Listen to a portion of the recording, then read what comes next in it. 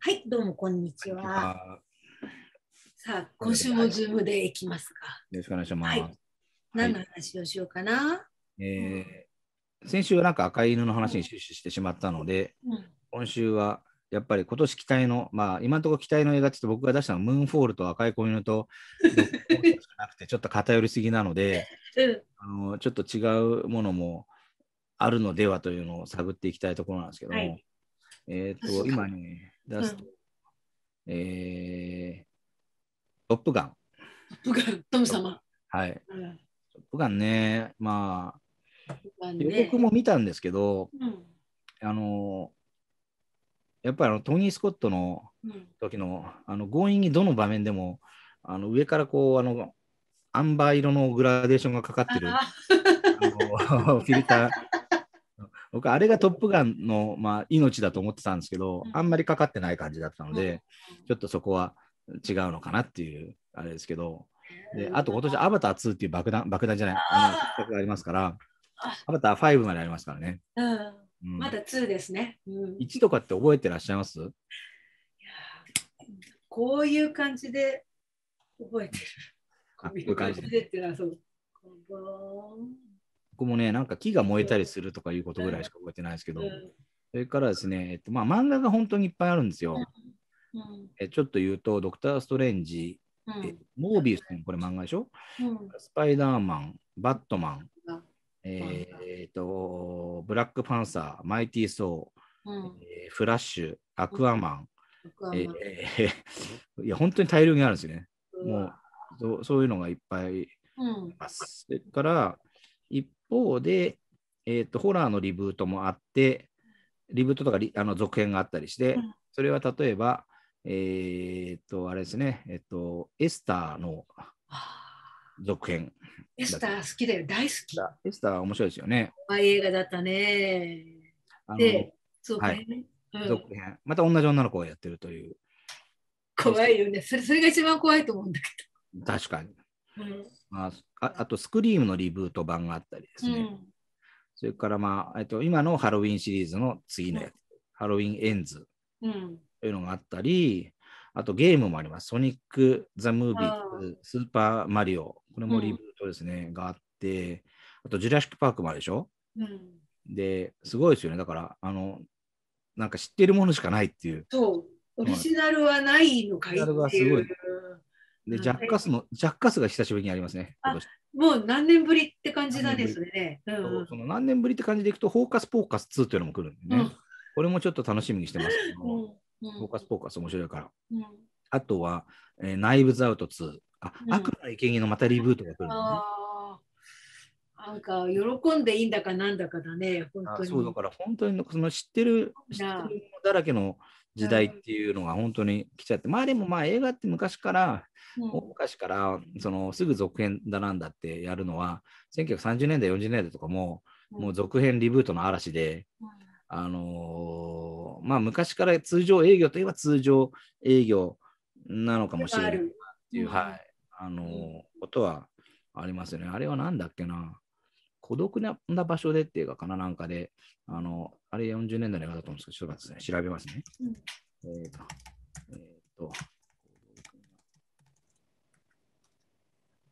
ていうのは、えー50年だ、1950年のハンフリー・ボガードが出てるうん。ニコラス・レイの映画ですけども、これで、あのー脚本家役なんですけど、あのハンフリー・ボガードが、それが、あのープロデューサーかななんかに、あのお前らが作ってるの全部リブートとリメイクばっかりで、ポップコーンさえ売れりゃいいんだろみたいな話が、もうこの時すでに言ってますからね。言われてる。そうそう。だから別にそれ、状況はそんなに実は変わってないのかも。でも今さ、タイトルそうやって並べてもらうとって、それって今年の映画の何分の1に当たるわけじゃん？あだから半分以上そのくらいって。まあ、今出てるこのラインナップで見る限りだとすごすごい多いですよ、本当に。ねでそうだよね。だって、えっ、と、他にもですね、なんだっけ、えっ、と、さっき言ってなかったので、うんバズ・ライトイヤーっていうのもあるし、うんうんミッション・インポッシブルもあるでしょ？うんで、とか、あとミニオンズもあるし、だから、いや、だからそれ考えると、やっぱり、あのムーンフォールとかで、うんオリジナルで、エメリヒ偉い。そうそう、エメリックが偉いんじゃないかな、なんて。うんう。思っちゃいますね。あと、ほら、あの長靴を変えた猫の続編も来るし、えーっとそうまあ、そう考えると本当すごいですよね。ダウントンアビーの映画版も来るのか。うん。うん。いや、でもまあ、結構み、んな聞いたことあるものばっかりだよね。そうですね。でもまあ、その中にちょこちょこと、まあ、今だから発表されてるっていうか、そのお大物はこういう、大物っていうか、対策はそういうのばっかり、そういうのが多いけれども、まあ、そうじゃないのもいっぱいあるでしょうから、まあ、楽しみにしたいな。なんか、なんか、でかいサメの映画も来ますんで、まあ、でかいサメの映画は毎年あるから、そんなに、サメの映画はもうな無条件で好きだから。あ無条件で好き。うん、好き。そういったって言わなくてもいいのかもしれないですよね。どうしようね。なんか、でナイル殺人事件も今年なの？入る殺人事件今年ですね。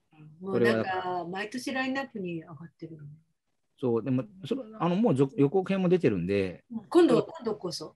今度こそなんじゃないかと思いますけど、ナイル殺人事件は、あのーあれですよね、だから、えっと、ケネス・ブラナースーの、だから、えっと、あれの、えーオリエント急行の続きということ、続きっていうかね、あれでやるってことですね。ガルガドットも出てると。うん。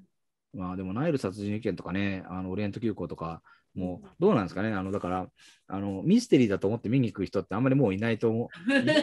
でも若い世代とかはやっぱり話知らなかったら、まあ、あれで見に行くんだと思うんですけどね。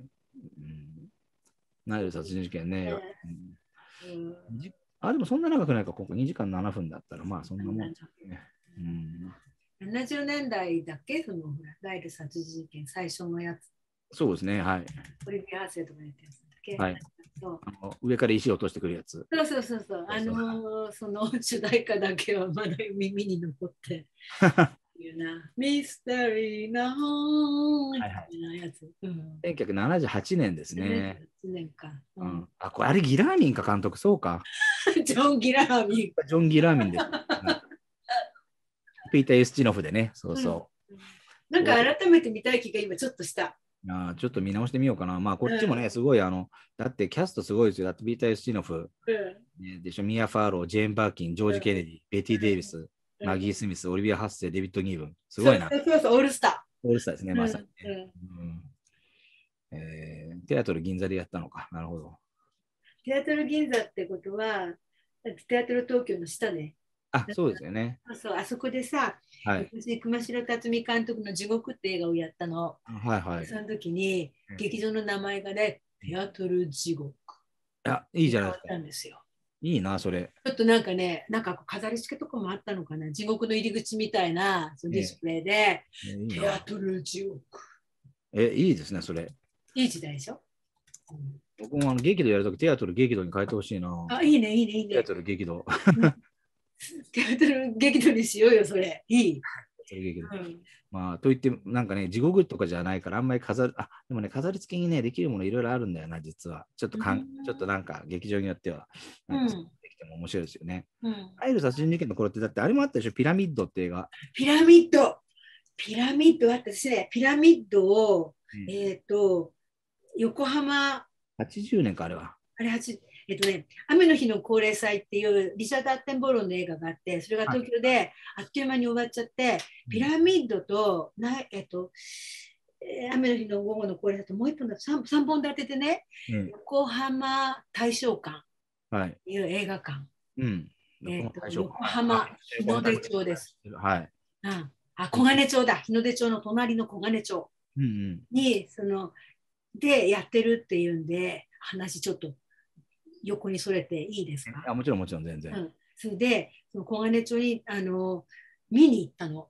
えだって、ー、はい。それで、横浜小金町に降りて、うん。で、なんかその、か川沿いっていうかな、なんなんていうのこう歩いてくとヌードスタジオとか、なんか,、うん。なんかあってで、その先にその映画館があるんだけども、横浜大正館、連日オールナイト。えって書いてあるの。ー、で別にオールナイトのプログラムを組んでんじゃなくて昼間と同じ映画を一日中やってますよっていううん。で入ってでそしたらもうその2階女性席どうぞって案内されたの。で2階女性席って書いてあって上がっていくと親父たちがゴロゴロゴロゴロして寝てる。だからみんなそのドヤの人たちが、うんその寝に来てる。寝に来る。誰も雨の日の高齢祭見てないっていう。なるほど時にピラミッドと、あともう一個何だったかな、3本立てでうんええ見た。で、えっと、休み時間にトイレに行くと、トイレ女子トイレに鍵がかかってるんですはい。よ。で、あの、すいません、トイレ鍵かかってるんですけどって言うと、その、えっと、ももぎりの人だから、なんかそのなんかおじさんだから、すいませんって言いながら、いたずらされちゃうんですよねって言って、あ鍵開けてくれる。えー、すごいな。アメリカのガソリンスタンドみたいですね、鍵でやってくれる。で、またその鍵かけちゃうらしいんだよね。だからその次にまた行くと、うん開けてください危険じゃないですか、ちょっと。だみたい。それで、その、えっと、雨の日の高齢祭を、その、えっと、明日見に行くんだっていう話を彼氏にしてたらば、その後、レスキューに来てくれたの。へえ劇場に現れて、だからその、もうととにかくその映画を見に行くところじゃないって言われまあ、そういうことですよね。た。うん。あ雨の午後の高齢祭？雨の午後の高高齢齢祭。あーえ、あ、これリチャード・アッテンボーロか？そうアへテンボロンの作品で、それで80年、えっ、と、う81年かな、にあの公開に。え、今回ね。うん、そうそう。えそれ面白い映画です。ー、あ、見ようんう。え今もうん売ってますね。あ、売ってないの。DVD がすごい高くなっちゃって、はいもうね、1万円とかするから、もう洋版で買おう。うんうんうんぜひぜひ。うん。小金町の思い出。ね小金町の思い出。はい。うん雨の午後の高齢祭ってこれ。えー、セアンス女ウェットアフタヌーン。へえ。うん。これ題名は聞いたことあるな。ある？うん現代は聞いたことがあうんります。えー、そっか。今度見ようん。ぜひぜひ。う。ぜひ。なんかね、こういうのもあの、だから、その日本語字幕さえ諦めればね、結構、そのブルーレイとかで向こうで出てたりするんで、うん。うん。高齢術か。うん。高齢術ものですよね、でもこれ。そうです。うん。都内あっという間に終わっちゃったんだよね。あ、そうなんだ。そうだった。うんえでもさ、なんかあの頃って、その東京で終わっちゃっても、なんかちょっと追いかければ、あのはいはいこう隣の県でやってたりとか、ー、やりましたね。あったよね。うん僕もそれでだって中学の時に、あの、なんか、ゾンビ見に行ったんですもん。うん。うんうんあ、そっか、ゾンビもそうだ当たったわけじゃないんだもんね。うん地方で見に行って、うん。なんか初体験どんな感じ？日曜の朝から友達とだから埼玉だか栃木だかなんかどなんかその辺ですよ。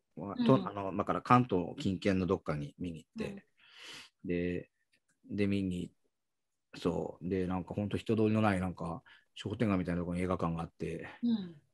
見ましたね。で、うん、なんか、そう、そう、だからあと、あの、スプラッシュ効果のやつはね、横浜に見に行ったりとかそういうことうん、ありましたけどね東京はね、日本立てにならないからって。そうそう、うんそれで見られないやつもあって。うん。というわけで、ナイル殺人事件も今年あります。あります。うん。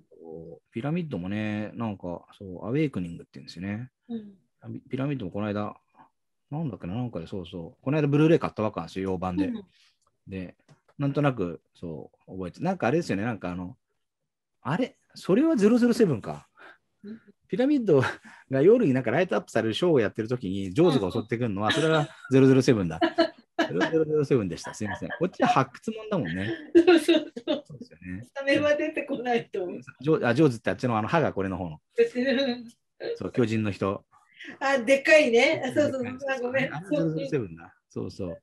いや、なんか、あリチャード・キル。リチャード・キール、そうそう。リチャード・キル。うんうん。あ、そうだ、あと今年楽しみにしてるのは、このノースマンという映画があってですね、ノースマンっていうのはなんかバイキング映画なんですけど、うん。あのーまあだからそのバイバイキング時代、10世紀の終わりとかにのなんかバイキングの殺し合いの話らしくて、うん。なんか予告見ると、見る限り、なんかすごい野蛮な感じで、今楽しみに。うん。うんこれはどこの映画なの？にあ、でもアメリカ映画なの？かロロバート・エガース監督ですね。あのーロバート・エガースって、えっと、だからウィッチとかライトハウスの人うん。が監督なんですね。だからまあ、だからまあ、面白そうだね。うん、まあ、真面目な感じなのかなと思いますけども。うん。ああ、でもロバート・エガースってまず38歳なのか若いな。すごい。な。うん、うん。という感じで、今年はまあそんなかな。あと何が、まあ、何来るか分かんないですもんね、でもね。うん。そうう。ん、あとあの、ね、うん。映画館が通常営業っていうか、ううん、やってくれれば。うんそうですよね。あ年は。まあでも本当、だから、あのもう、なんかこういう、題名だけだと分かんないから、やっぱり本当になんかこういうのも、今はね、もうその雑誌売れないから映画雑誌もあれですけど、なんか、毎月ほら、こうね、来今年はこんなのだよとか、来月これですよっていうのは、なんかあの雑誌とかで分かるといいなとか思いますけどね。そう、本当だね。うん。そうで、なんか、そう、あの、写真で、うんスティルで騙されて見に行くとかって、はいはいやっぱりなんかそうそういうのって嬉しいじゃん。ねそういうのはポスターでとかさ。うん全然そんなシーンないじゃんみたいなことよくあるからね。うんうんキングコング70、えー、70あれ何？年6年ですか？6年かはい。のキングコングお正月映画でそう見に行ってそれで年上の友達が連れて行ってくれて帰りにあの、えっと、鑑賞券なんかあのポスター、こういうやつ、こんなシーンないじゃんっつってぐるぐるってパンってた、うん。そんなシーンないですからね。うん、でもやっぱりほらそんなシーンを 見に行くんだよね。うん。まあそう、あまあ本当そうですよね。で、であと、そう、僕は昔、本当子供の時にだって、ロビーカードとかね、スチールとかで映画館の壁に飾ってありますけど、あれも特写が多くて、そんなシーンないじゃんっていう 目白押しだから、うん。まあそれはそういうもんだと思ってましたよね。うん、やっぱり、なんだろうな、そういうのは。えっと、だって、未知との遭遇とかだね、あの、エイリ未知の遭遇のポスターってほら、真ん中にこう、ハイウェイがあって、向こうが光ってるやつ。うんで僕あの、あれ見に行く前の人がすごい楽しみで、ああいうシーンがあるんだろうなと思ってたら、ないでしょ、あんなシーン。ないです。うんあんなシーンないから、うんあれないって思ったし、それから、エイリアンもなんか、あの卵がこうなってる予告やったでしね卵の、そうそう。うんで、そんなのもないから、だから、そのその頃ですよね。あ、うんこういうのはイメージなんだなって、うすうす分かってきたのが。うん。そのそそのシーンじゃないんだなってとこでね。そうそう、そのシーンじゃないんだなっていう。うん。うんなんかそういうのもね、あるしな、なんか、まあでも、まあなんか、全部トータルで、そういうのも込みで、あのー映画体験だから、うんそうそうそう、うんうん。こんなシーンなかったじゃんもね、含めて全部。中田ちゃんも含めて、ね、あありますよね。うん。まあ、まあだから、みんなどう思ってたのかなとか思うときありますけどね。どんぐらいそれがあると思って見に行ってたのかとかね。まあ別にアンケート聞いてみたいね。うん。聞いてみたいですね。これ、ここまであると思ってたかどうかっていう。うん。織り込み済みだったのか、そうじゃないのか。そうじゃないのかっていうう。ん。でもまあね、そう、だから、だって、それはだって、そのなんか13日の金曜日とかだって、なんか枕に物が突き刺さって血が噴き出してる。あとなんかこうカーテンの後ろからこうなんか、うん、ナタを突き出してるポスターだったりして、3D とか、うん。まあないじゃん、そんな。3 3D、なんだっけ、えっと、えっと、13日の金曜日 3D。3D。うんねそうそう、パート 3D。ああれってさ、あの、わざわざ、こう、何、なんだっけ、老老夫婦がほら、なんかテレビ見てるシーンかなんかであのさ、テレビのアンテナがこっちにブンブン。そうそう、テレビ映りが悪いから、ちょっとその、なんか、その、アンテナの位置変えて、ぐるーんみたいな。全く本編と関係ないんだよね。何でも飛び出る映画。なん そううんでも、あの、赤、赤青の、あの、メガネで見る 3D って、やっぱり良かった。うんうん今、あの、その洋版のブルーレイとかだと赤青じゃなくてあれ見られますから、もう裸眼で見れちゃう。いや、裸眼じゃなくて、そのなんか、3D の 3D のプレイヤーがあれば。あ、あ、そうか、プレイヤーがあればね。そうなんですよ。で、プレイヤーとその連動したメガネがあって、それ使うと見れるんで、うんあの今度、よかったらうちで見ましょう、ぜひ 3D。ぜひぜひ。めっちゃ目に刺さるぐらいきますよ。本当？うん、本当にあの途中で疲れる。ー 昔の 3D はこう苔落としだからすごい目目に優しくないですよ。もう、もう、うんうん、それがもう、ここまで来ちゃうんだ。そうそうとにかくどこまででも出してやれっていう。あれ面白いからな。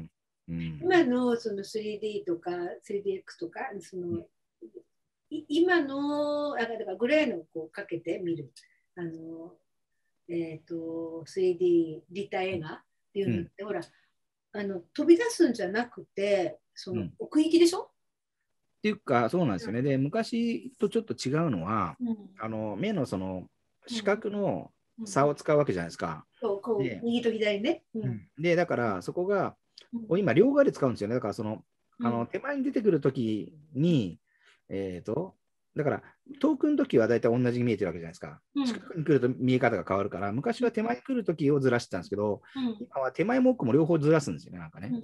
で、そうすることで、こそうそう、なんかね、うん。ちょっと、あの見え方が違うっていうか、あの奥行きがあって、目にあんまり目そのそこまでこっちが疲れないっていうぐらいのことでやってるんだと思いますけど、見る見た感じ。うん。うん。だからちょっと私あのうん。方式が違うっていう。あの IMAX を、えっと、天えっと、あそこ、えっと、うんと天保山、大阪の、はい。はいはい。サントリーのあの海遊館があるところに、その、えっと、見に行ったときに、うん。あの、えっと、な何がすごいかって、えー人と人との間にパーティーのシーンで手が入るって思ったの。ね。その、えっと、こういう、えっと、あヘッドギアタイプだったから、その、そのそういうやつか。IMAX。ええうん。で、バルキルマーのあの、はい。サンテクジュペリの映画だったと思うな。うん。40分くらいのあの中編なんだよね。はい。あの頃って、うん。あのえっと IMAX でも1時間半とか作れなくって、目が疲れるっていうんうで、ん。で、それを、えっと、えっと、東京の、だからその新宿の高島屋に IMAX のシアターができるっていうんで、ソニーが最初の映画の配給をしたんですよ、そこで上映する。で、ソニーからその偵察に行ってきてくれって言われて、で、日帰りでその店舗山に見に行ったの。で、その時にこうヘッドギア型の、こういうんだと思うかな、あのをつけて、見てたパーティーのシーン、こう人がこう行き交うじゃん。うん。で、その時に、うんとにかくまあ奥奥行きがあるわけ。ええええその出てくる感じでうん、こうやって手を人と人の間に手が入るんじゃないかって。って思っちゃったんだね。そう、うん。なるほど。あ、びっくりした。本当に手が入ってきたのかと思って。イメージがあるけど、そう。でもそのくらい、なんか飛び出すと思っているわけだ。その、うん古い世代なので、そういうあのアンテナがブーンみたいな、うんそう、いうものが立体映画だと思ってたから、そう。まあ、IMAX って、まあ、ただ正しくは立体映画っていうんじゃないのかもしれないけど、そう。その時は。そうやって目が疲れるとか言ってたの面白いですね。だって、あの、僕、この間、ピーター・ボグダノビッチ監督が亡くなったでしょ？うん。それで、あのツイートってわけじゃないですけども、あのニッケル・オデオンっていううん。映画があったじゃないですか。オニール親子が。うんそうそうそうそう、オニール親子のやつを見てたんですけど、そしたらあれの中で、だからあれがすごいその1910年代とかで、ままあ映画業界の話ですけど、そこで結局その、まあ、えっ、と、国民の創生ができて最終最後になんか映画の時代が変わって、その長編の時代になるみたいなこと言って終わるんですけども、その前のところのシーンでやっぱりその、そんな長い長編映画なんていうのは目が疲れるから見るに耐えないんだと。